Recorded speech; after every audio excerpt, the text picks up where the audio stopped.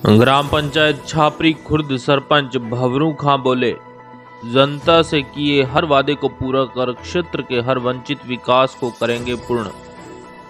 नागौर ज़िले की मोलासर पंचायत समिति की ग्राम पंचायत छापरी खुर्द के वर्तमान सरपंच भंवरू खां व समाज सेवी फारूक खां ने आरपीडी न्यूज़ खास मुलाकात को संबोधित करते हुए पंचायत की समस्त समस्याओं व उनके द्वारा किए गए विकास कार्यों पर विस्तृत जानकारी दी।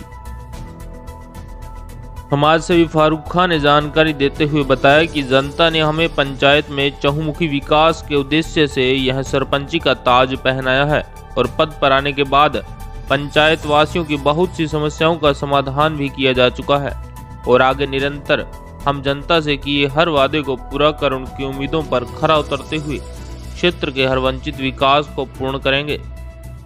आइए सुनते हैं आरपीडी न्यूज़ खास मुलाकात के दौरान हुई वार्ता को।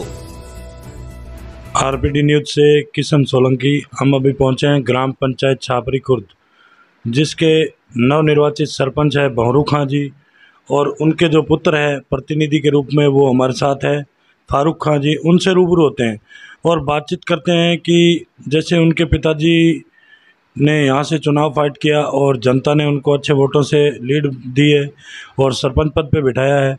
तो उनके ऐसे विकास के प्रति क्या मुद्दे थे जिनको लेके वो ग्राम पंचायत में चुनाव फाइट किया उन्होंने और जनता ने उनको मौका दिया?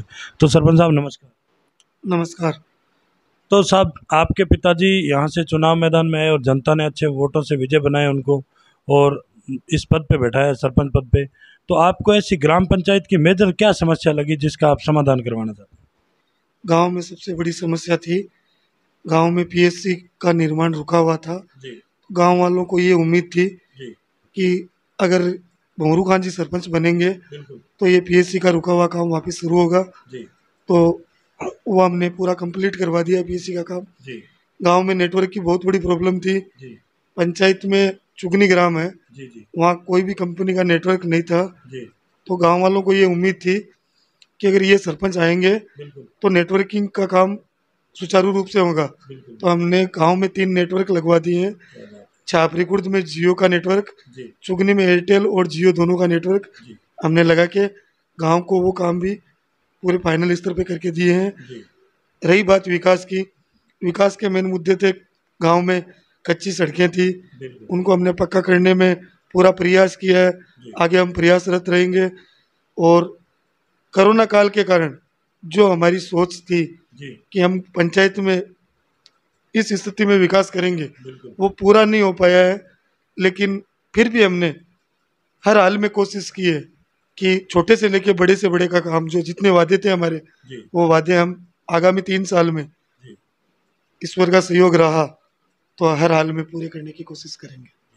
बहुत ही अच्छा कि जो यहाँ जो ग्रामीण हैं और इस पंचायत की जनता है, उनको बहुत ही मान लो आवश्यक ज़रूरी थी पीएससी की। तो इन्होंने मान लो इतने टाइम से जिस काम, जो काम नहीं हो रहा था और अधूरा था, उसको पूर्ण किया है। और जो नेटवर्क की जो प्रॉब्लम बताई गई है क्योंकि इस क्षेत्र के अंदर नेटवर्क की प्रॉब्लम होना भी बहुत ही बड़ी भयंकर समस्या थी। उसको भी इन्होंने समाधान किया है। और जैसे रोडों का बताया सरपंच साहब ने कि रोडों का भी विकास हुआ है। तो सरपंच साहब यहाँ पेयजल की स्थिति कैसी है? क्योंकि यहाँ हम आसपास की ग्राम पंचायतों में गए हैं तो वहाँ कई जगह पेयजल की बहुत ही भारी कमी है। तो अपने ग्राम पंचायत की पेयजल में क्या स्थिति है? यहाँ पेयजल की भी बहुत ज़्यादा समस्या थी। जी। हमने सरपंच बनने के बाद में गाँव के लोगों के सहयोग से एक जगह पे जगह चिन्हित करके एक नई ट्यूबवेल करवाई जिससे छापरी कुर्द में पेयजल की समस्या दूर हुई। लेकिन अभी ग्राम चुगनी है उसमें पेयजल की समस्याएँ बहुत ज़्यादा है और वहाँ पे पानी का स्तर दिनों दिन गिरता जा रहा है। तो कोशिश कर रहे हैं हम सरकार से हमारी मांग है कि चुगनी ग्राम को स्पेशल योजना में एमजीएस में लेके उसमें खेतों में पानी के टंके बना के इस कार्य में सरकार अपनी भागीदारी निभाए और हम हमारा वादा पूरा कर सके। बहुत ही अच्छा कि जैसे छापरी खुर्द ग्राम पंचायत का कोई गाँव है चुगनी उसके अंदर अभी तक पानी की पूर्ति नहीं हो पाई है और सरपंच साहब है जो उनके प्रतिनिधि हैं वो भी यही गुहार कर रहे हैं सरकार से भी मांग कर रहे हैं कि जल्द से जल्द वहाँ पानी की पूर्ति की जाए। तो जनता का जो संकट का सामना कर रही है, उससे निजात पा सके। तो बहुत ही अच्छा। तो सरपंच साहब, आप एक युवा हैं, एक ऊर्जावान हैं और पढ़े लिखे हैं। तो शिक्षा के प्रति आपके क्या रुझान रहेंगे? छात्र छात्राओं के, बालिकाओं की शिक्षा के लिए? और ग्राम पंचायत में आप सरपंच पढ़ने के बाद किसी विद्यालय का आपने निरीक्षण किया? और यहाँ की, मान लो जो शिक्षा है, उसका स्तर कैसा है? और आगे आपके क्या प्रयास रहेंगे? शिक्षा के प्रति हमारा रुझान ये है कि हमारे जो गवर्नमेंट के विद्यालय थे हम जब सरपंच बने थे तब उन विद्यालयों की कंडीशन ये थी कि उनमें ज़्यादा से ज़्यादा सौ एडमिशन पाए जाते थे। हमारे यहाँ ट्वेल्थ तक सीनियर सेकेंडरी स्कूल है। उस स्कूल में हम रोज़ निरीक्षण करते रहे। उसमें समस्याएँ थी उनकी उसकी छत जर्जर थी। तो हमने गाँव वालों के सहयोग से भामाशाओं के सहयोग से उस छत को सही करवाया। और जो भी गुरुजन है उनसे मिलके हमने दिन प्रतिदिन एक नए व्यवहार पे काम किया कि अपन को शिक्षा को बढ़ावा कैसे देना है। और आज उसी स्कूल में 400 प्लस एडमिशन है और गाँव की पब्लिक को जागरूक कर रहे हैं ज़्यादा से ज़्यादा कि शिक्षा पे ध्यान दो शिक्षा है तो सब कुछ है नहीं तो कुछ भी नहीं है। बहुत ही अच्छा सरपंच साहब का बहुत ही अच्छा सुझाव रहा है कि शिक्षा है तो सब कुछ है नहीं शिक्षा के बने जीवन में अंधेरा ही अंधेरा है। तो शिक्षा से जोड़ना बहुत ही इनकी अहम भूमिका रहेगी कि जो भी ग्राम पंचायत में जिस, मान लो जो भी छे, ग्राम पंचायत के जो लोग हैं, उनको घर घर जाके मोटिवेट करना कि जिनके बच्चे अगर विद्यालय में नहीं जा रहे हैं, उनको ज़्यादा से ज़्यादा शिक्षा से जोड़ना ही मुख्य कारण रहेगा। तो जैसे बात करते हैं, सरपंच साहब, यहाँ के युवाओं की, आपने चुनाव फाइट किया और जनता आपके साथ थी ग्राम पंचायत की और अहम भूमिका आपके यहाँ के युवाओं के साथ में रही है। तो जो युवा बेरोजगार घूम रहे हैं उन युवाओं के लिए आपके क्या प्रयास रहे? युवाओं के लिए हम कंटिन्यू प्रयासरत है। युवाओं के लिए हमारे सीनियर सेकेंडरी स्कूल में बार बार जो खेल प्रतियोगिता करवाई जाती है और दौड़ प्रतियोगिता करवाई जाती है।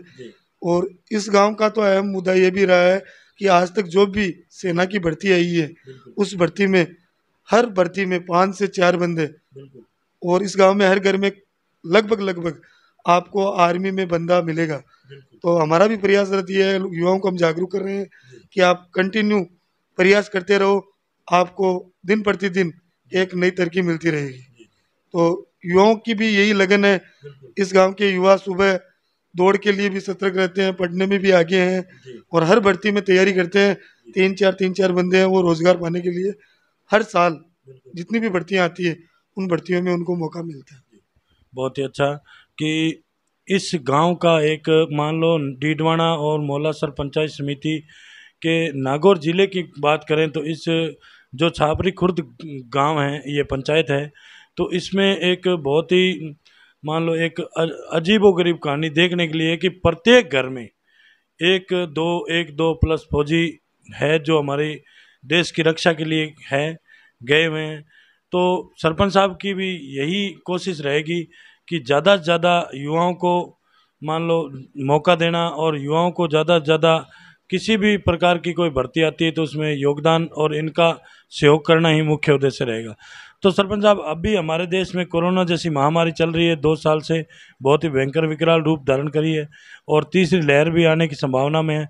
तो आपके इसके बीच बचाव के लिए आप इन लोगों को कैसे मोटिवेट कर रहे हैं अपने क्षेत्र के ग्राम के? और जो वैक्सीन लग रही है वो अभी अपनी ग्राम पंचायत में कितना परसेंट तक हो चुकी है? ग्राम पंचायत में हम लोगों को यूँ मोटिवेट कर रहे हैं कि जो भी विवाह शादी फ़ंक्शन प्रोग्राम है उसमें कम से कम भीड़ करें मास्क लगाएँ दूरी बनाए रखें और कोरोना से बचाव ही उपाय है। दूसरा कोई उपाय नहीं है। रही बात वैक्सीनेशन की। हमारी पीएससी हमारी ग्राम पंचायत चापरीकुर्द में होने के कारण हमारी पीएससी में वैक्सीनेशन का बहुत अच्छा कार्य हुआ है जिसमें आज गाँव की लगभग 65 परसेंट आबादी जिसको वैक्सीनेशन हो चुका है और आने वाले महीने भर में हंड्रेड परसेंट तक वैक्सीनेशन हो जाएगा। बहुत ही अच्छा।